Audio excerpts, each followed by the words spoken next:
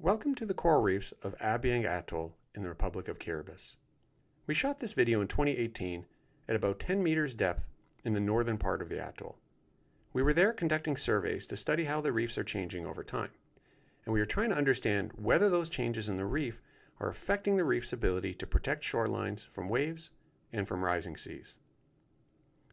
As the climate warms, more and more corals are dying from bleaching events.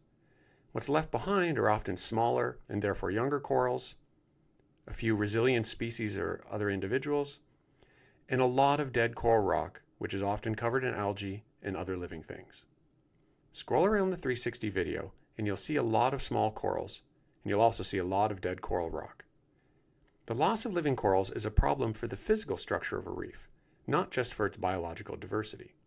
You see, corals build the reef over time, Corals create these calcium carbonate structures similar to our bones. That's the reef. And the reef helps protect the shoreline. The drag created by the complex bumpy surface helps reduce wave sizes. If the physical structure of the reef breaks down over time and the reef bottom becomes smoother, then the shoreline is less protected from sea level rise. That's one of the big concerns about coral bleaching. If there aren't as many living corals and corals aren't actively building the reef, it's going to slowly erode away over time leaving behind a smoother, less bumpy surface. To do this work, we collected depth measurements and a lot of photos. Heather Summers, leading this part of the project, took 3,000 or more photos at each site. Those photos were then used to create 3D mosaics of the reef and to measure the physical complexity, but that work was done on the computer. At each site, we would also collect images that we'd then use to analyze the biological diversity to see if it's changing. And we'd also go out and physically measure corals to see if the size of the corals are changing over time. We also collect temperature data in many of the sites by securing logging devices to the reefs.